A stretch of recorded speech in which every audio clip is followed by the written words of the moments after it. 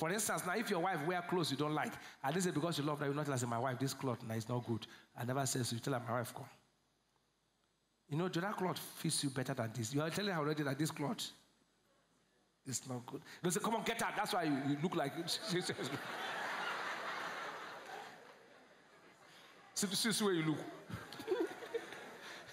I said, you know, last week, that dress is a bit, that's why you are looking very fine. And that, that style, she already gets your message. But I said, come, see all your legs, strong legs.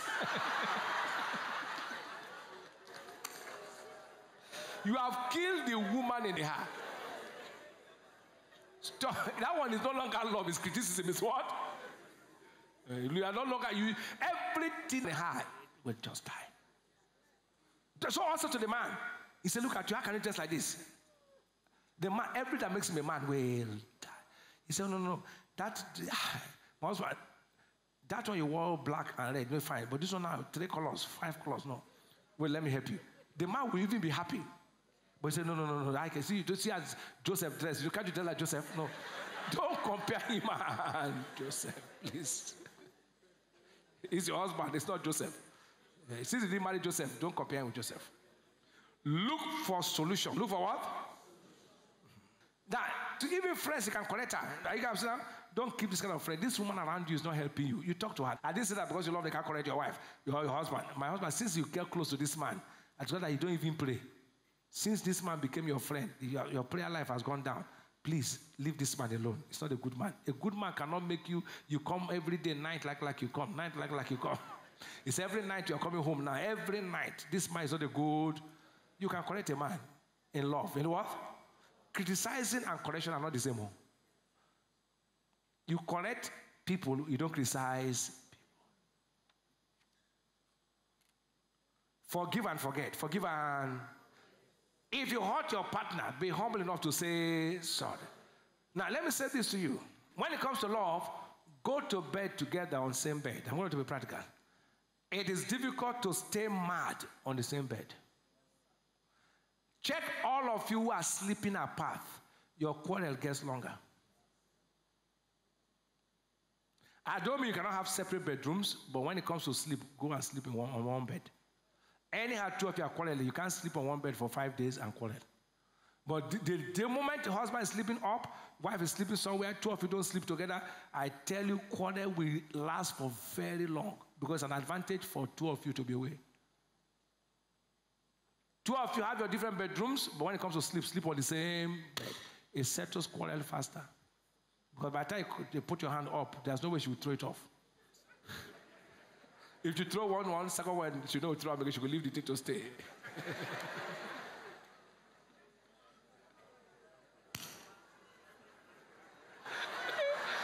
he said, How does this man know all this things? I don't have to break my hand to know how to massage hand.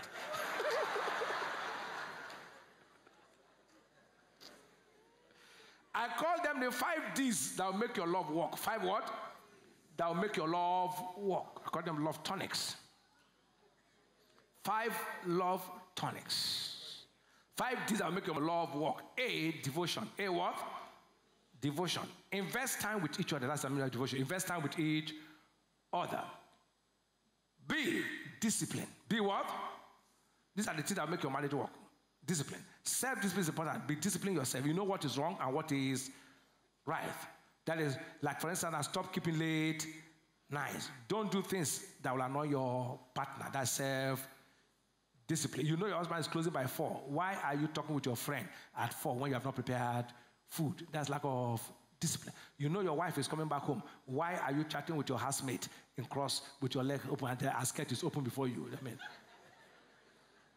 she, I mean, be disciplined. Be your husband now is sitting down with big breasts and then the legs are open before you. Be, dis- be disciplined. Be what? Be disciplined. Be what?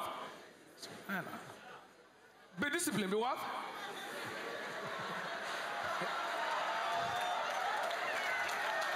Be see that will make your love work. Is discussion. Is what? Is discussion. Learn to discuss mutually in a relaxed atmosphere. In a last what? Talk about your physical relationship. Talk about your physical. Listen, talk about your physical relationship. For instance, a wife told her husband life story that he no longer kiss her. She told him, "Say, my husband, you don't longer kiss me." And, and that's a physical relationship. So two of you relax. Let her feel free. Don't make your. Do you know that women cannot express themselves?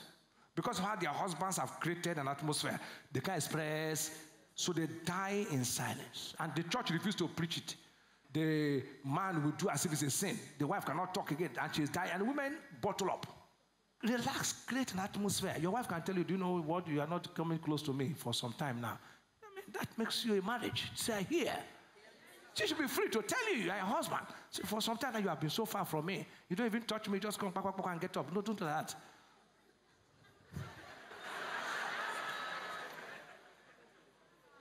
The woman should talk to you, you are the husband. And then you will now say, okay, my wife, sorry, next time I'll satisfy you. It's better for to be satisfied than the man first. You know why? If the woman is satisfied, the marriage will go well. If the man is always satisfying himself well, he will have crisis. D, determination. D is what? Be determined to make your marriage work. Be determined to make your marriage work. Don't allow anything or anyone disrupt the home and family. Hmm? These are the five D's. E, direction. E is what? Plan for the future. Nothing happens by chance. Plan for holidays, plan your outings, plan time together. Failing to plan is planning to fail. Number three is excellent money management. Excellent what? Poor money management can cause great tension, stress in the home. Don't spend more than you earn as a family. That will make you constantly live in death. Learn to live within your income. Learn to live within your income. First Timothy 6, 6 and 8. But godliness with contentment is great gain. Having food and raiment, let us be therefore be content. Couples, sit down and work out a family budget in a simple plan. In a what? Plan does not limit your spending, it defines it. Planning does not limit your spending, it does what? Invest first in the kingdom. Pay correct tithe. Pay what? Give quality offering as a family. Save before you spend. What I say? Buy a car you can afford. Plan your shopping. Avoid impulse buying. That is just enter shop and buy. Say, let me hear this. Hear this. Buy what you need, not what is on sale. Buy what you need, not what's what. What makes people to buy impulse buying? They say they are, they are on sale. Don't go to buy something because it's on sale. Buy it because you need it. Otherwise, you get into impulse buying. Most times, you say they're, they're on sale. You buy something you don't really need, and your money has gone. God hates waste. Here's what? Many families are under stress because of this factor. Send your children to schools. You can afford the fees. Stop running to anywhere you go to put to pay school fees. That school is bigger than your family size. Take the child to a school you can afford. Live in a house you can pay. Stop writing notes to people in church for house rent. These are financial things for family. Finally, make Christ the head of your home. Make Christ the head of your home. That is, make the word of God your final authority on any issue. He is the one who can make good better, better best. When there was no wine in John chapter 2, he provided wine. With him, you can never run dry of wine. The wine of joy, the wine of peace, he will always provide. And he said, Whatever I say to you, do it. John chapter 2, verse 5. This is the wisdom that we all need for our homes and marriages. Number one, communication. Number two, love. Number three, sound financial management. Then for the singles, hear this. In one minute, avoid low self esteem. Avoid what? The way you see yourself is how people will see you. If you think you're a failure, you will only attract failures. God has made you wonderful. Don't go and marry because of present conditions. You are a pearl of great price. Never look down on yourself. In Malachi chapter 3, verse 17, it says, And they shall be my said of hosts. And that I want to make up my jewels. May I welcome my word? I spare them as a man spares his own son. And Psalm 139, verse 14 says, I'll praise you for I am fearfully and wonderfully made. responsibility is a prize for greatness. You can't wish a good home, you consciously build it. God loves the family. He wants us to succeed in marriage. He said, It is not good for the man to be alone. Genesis 2:18. Anything good incenses the enemy. It gets the enemy angry, and the enemy is the devil. Now, hear this God is the originator of marriage, He instituted it. But He kept a manual for you and I to follow. If you buy a product and you open the product, the first thing you will ever meet is the manual. They'll say, before operating this equipment, read this manual. God is the only one that instituted marriage. No government instituted marriage, no culture instituted marriage. So he kept a manual for the operation of marriage. And the manual is the word of God. Anything outside the word will end in crisis. If you take an equipment and say, Well, I will not follow the manufacturer's manual, I'll do it my own way, you will blow up the equipment. That's why today those who try to do it traditionally end up divorcing. Those who do it their own way end up having crisis because the one who is ready, you must follow his manual. But as you follow his manual today, you will never have crisis. Many have kept his manual aside and are trying to do it their own way. That cannot work. So we're looking at how to be successful in marriage. How to be what? Number one, recognize it is possible to have a successful home. It is what? It is possible to have what? It is possible to have a successful home. It is possible. Jesus in Mark chapter 9, verse 3 said, If thou canst believe, all things are possible to him that believeth. So if you believe that you can have a successful marriage, it is what?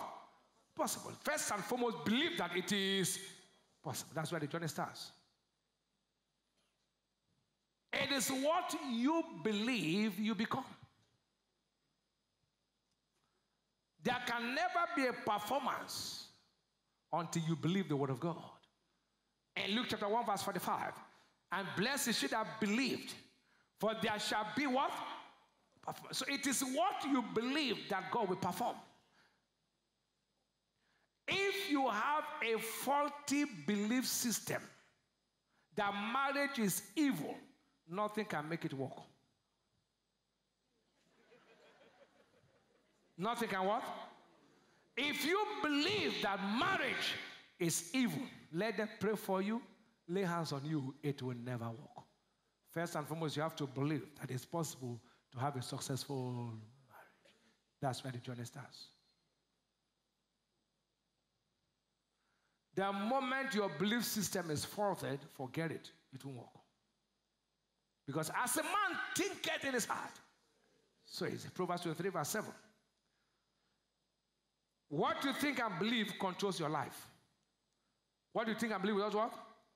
Controls your life. That's it. Don't be conformed to this world, but be transformed by the renewing of your mind. So your mind has to be renewed in line with the word of God, Romans 12, verse 2, that look, it is possible to have a successful marriage. Renew your mind with the word of God. Don't run your marriage like the world run their own marriages. You have to run your marriage with the word of God. Renew your mind. Your grandfather did not succeed. Your father did not succeed. Does not mean you cannot succeed. Say here.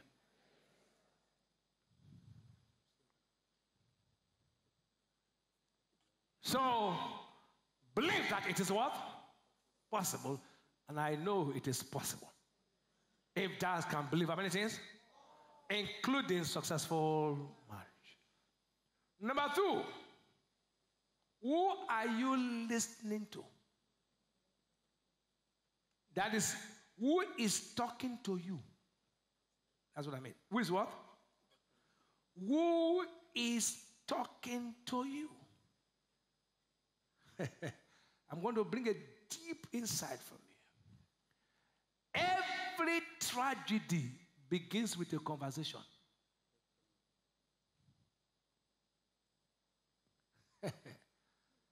Satan is the invisible enemy, but he walks through people.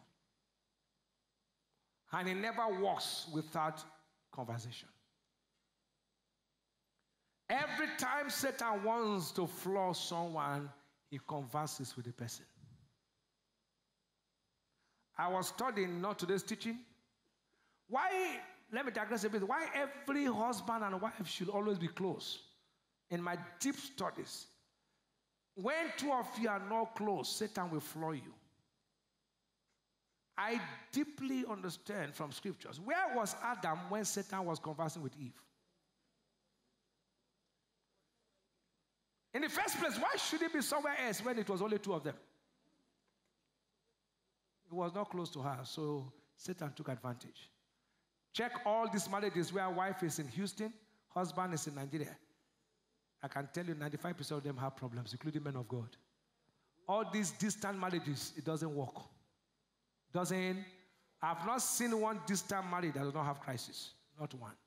Even if they are not divorced, problems are under. Nature abhors vacuum. Wife cannot be in Chicago. Husband is in Kavashan.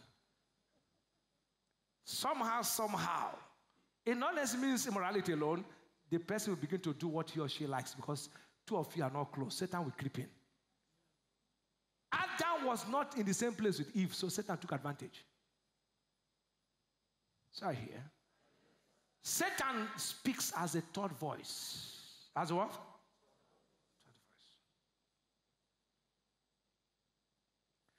Identify the third voice speaking to you. Mm. Look at Proverbs chapter 16, verse 28. I will tell you something very powerful. Let's read it together.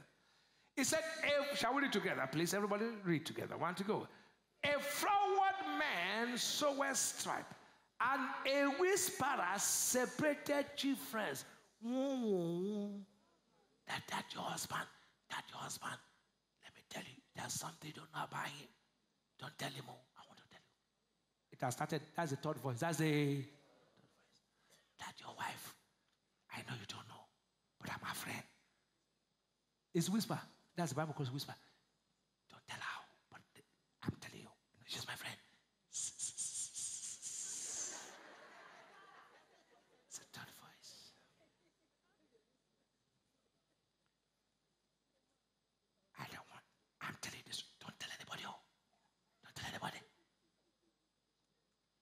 Look at how they, I like this translation. Message Bible.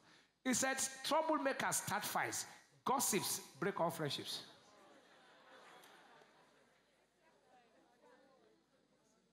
Gossips are the third voice. Listen carefully.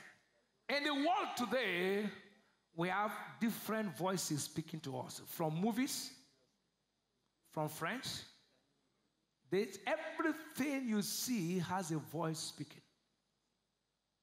Even your children are influenced by what they hear and watch on television. Let me say this to you every word carries an invisible seed. Every word carries an invisible seed. That seed will grow. There's a way you watch Nigerian home videos that if you are not careful, anywhere they want to serve you food, you be careful. You suspect that somebody wants to poison you. The seed of the things you're watching. If your husband says, I'm traveling, the first that comes to you is going to meet another girl. Because in the film, you saw it every travel, one girl. Everything you watch speaks with a voice, negative or positive.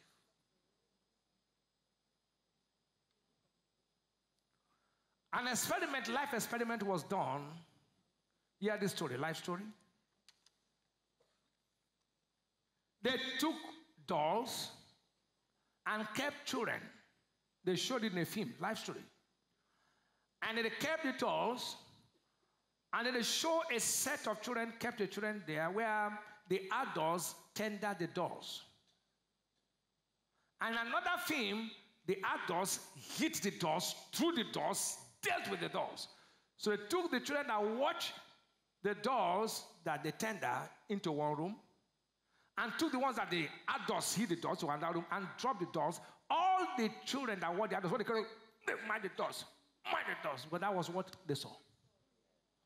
And all other children that watched that side began to thunder.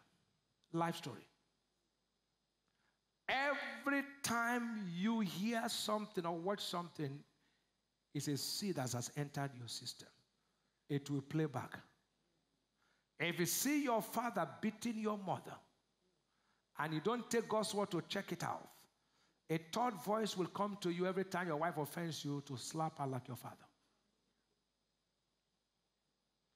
If you see your pastor talking to his wife in public anyhow, a third voice will come to you when your wife is annoying you to talk to your wife anyhow. And if you see your pastor respecting his wife in public, even when you want to be angry, you say, No, my pastor does not behave like this. Everything you see plays a picture and it drops a seed on the inside. Every time a quarrel wants to come, a husband and wife, and somebody whispers to you, This man is might treat you anyhow. Even when he has not opened his mouth, the moment you come in, he says, I'm going to quarrel this man. The third voice is what is making you to quarrel. That third voice that spoke to you, that this man is maltreating you. So even when the man has nothing in his heart, he said, How are you? He said, How are you for what? The third voice already making you to react. A seed has been sown. He's maltreating you. You to tell him who you are. So even when the man has nothing in his heart, he said, No, I'll show you. You have, you have treated me anyhow. Now me too, I'm a woman here. Stupid. The man wonder what is happening. Is the third